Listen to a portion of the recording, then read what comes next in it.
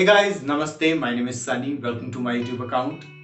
So guys, this month I'm celebrating one year completion of my account here on YouTube.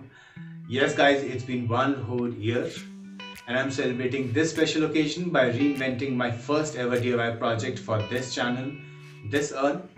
If you haven't seen this video, I'll put a tab to it right over here.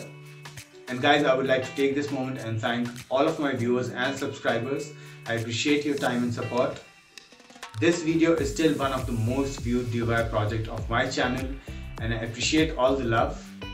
So guys, today let's create this beautiful urn.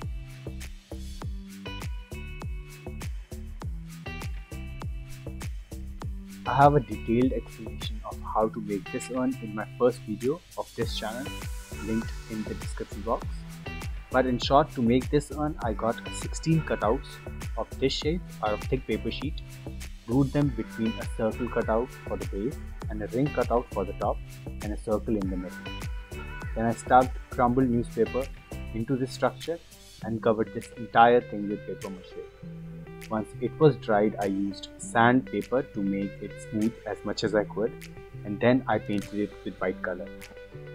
Now to make arrangement for this urn I used a candle in the middle and instead of using a glass tube as a candle cover I used acrylic sheet tube.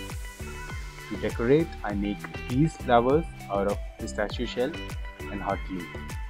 I made two different sizes of these flowers and few buds. I also glued bundle of these buds on a wire.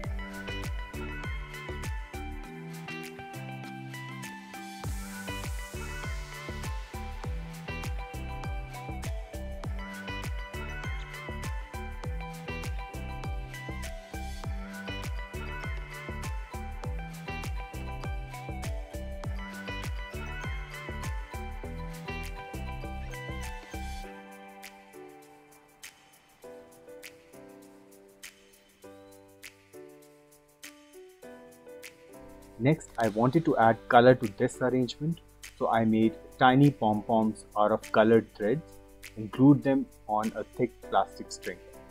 I have such in three different colors, yellow, pale and peach. To add a little bling to this arrangement, I made this out of thin wire, twisted bunch of these wires till half, then divided it into two, twisted some more, then on each wire I glued a glass bead with hot glue.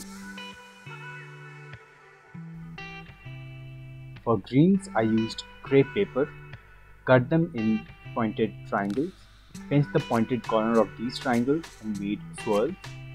At last I glued everything on this urn and done.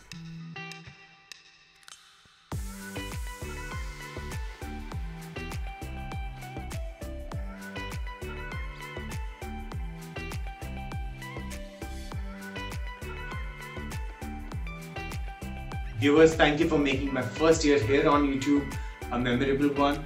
And I promise to see you guys with more amazing craft projects. Do take care, love and light. Bye.